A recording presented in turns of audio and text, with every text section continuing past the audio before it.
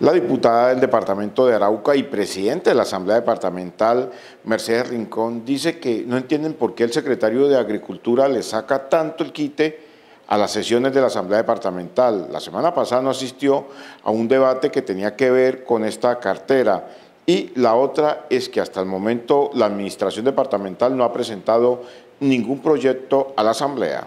El secretario de Agricultura Departamental de Arauca no ha querido asistir a algunos debates en la Asamblea Departamental que tiene que ver con su cartera. Disculpa tras disculpa saca siempre para no asistir. Bueno, yo lamento muchísimo como presidenta de la Asamblea que no haya eh, asistido el secretario de Agricultura, una secretaría que ha sido de las más cuestionadas en la administración departamental. Consideramos que hoy no vemos resultados en la planta de lácteos, no vemos en la, planta de plátano tampoco, y por, el, y por consecuente no vemos cómo avanza esta secretaría, que es el renglón más importante de nuestro departamento. Hoy estamos con Agrosavia, y no solo el secretario manda una carta donde dice que ha salido a hacer una gira al exterior, será un requisito una solicitud que le voy a hacer que nos diga cuál es esa delegación y qué funciones está cumpliendo en el exterior y qué le va a beneficiar eso al departamento de Arauca.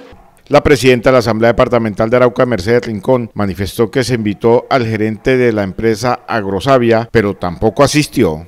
Pero de la misma manera también vemos con preocupación que citamos o invitamos al gerente de Agrosavia y con sorpresa vemos que siempre vienen funcionarios que no son los representantes legales y que deben decirle a la comunidad del departamento de Arauca cómo avanza este proceso. Hoy vemos que hay más de 400 beneficiarios.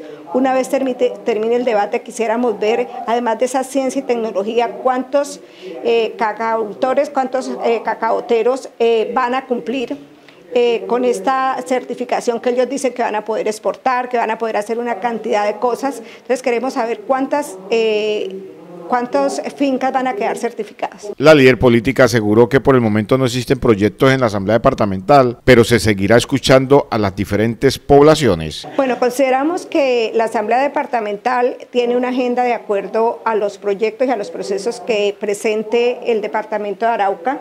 Hemos avanzado sobre todo en el tema eh, también de la ley de garantías, hay cosas que no se podían hacer pero consideramos que hoy estamos escuchando a Grosavia, mañana vamos a escuchar en el tema de la parte de lo que tiene que ver con eh, la discapacidad y de la misma manera vamos a continuar con los debates. Al parecer, la administración departamental se encuentra elaborando el proyecto del Superavi para presentarlo a la Asamblea Departamental. Sí, consideramos que también se está ya elaborando el proyecto de Superávit por las diferentes secretarías. Lo que nos ha dicho el secretario de Hacienda es que las secretarías les falta por radicar los procesos que se tienen que presentar, pero esperamos que en las próximas semanas eh, llegue a la Asamblea Departamental.